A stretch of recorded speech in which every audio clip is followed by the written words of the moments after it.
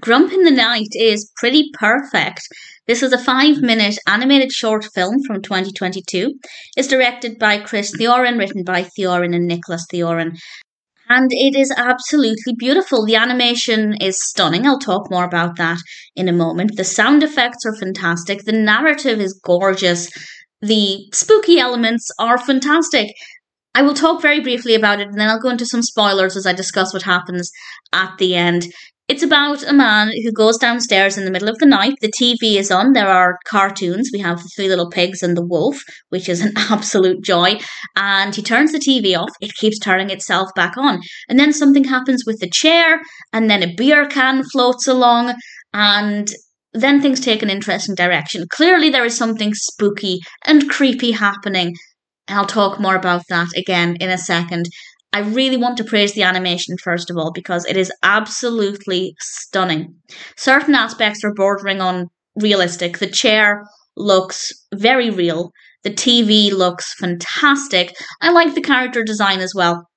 And the, the light is beautiful. The, I particularly like the fact that the chair is yellow because when the lamp beside it is on, it really illuminates that yellow of the chair and kind of almost acts like another light source. And I think that that was a really good decision. The light from the TV as well looks, again, really realistic and so fantastic. The pacing is brilliant and it is kind of creepy for a little bit. And I will talk more about that now. So there will be spoilers from now to sum up very briefly before I in with spoilers.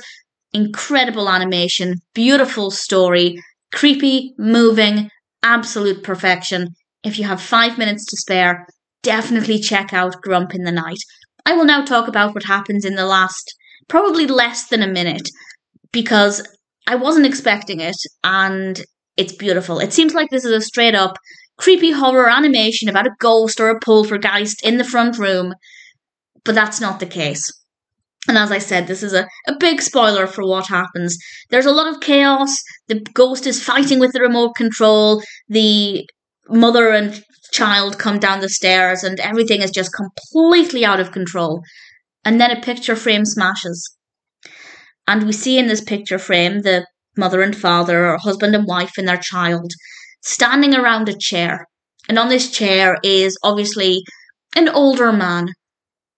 And we realize that that ghost is actually the spirit of the old man, of the father, the grandfather.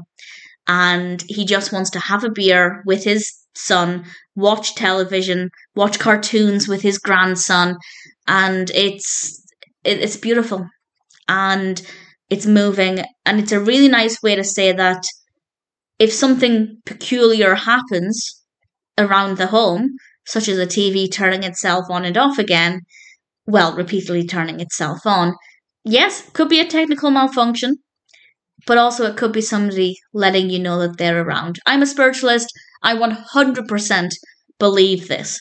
I 100%. Well, my belief isn't that the spirit would move a beer can from one room to the next, but certainly interacting with technology, this is firmly within my belief. So it went from being a funny, slightly creepy animation to being a really moving story with a really lovely message.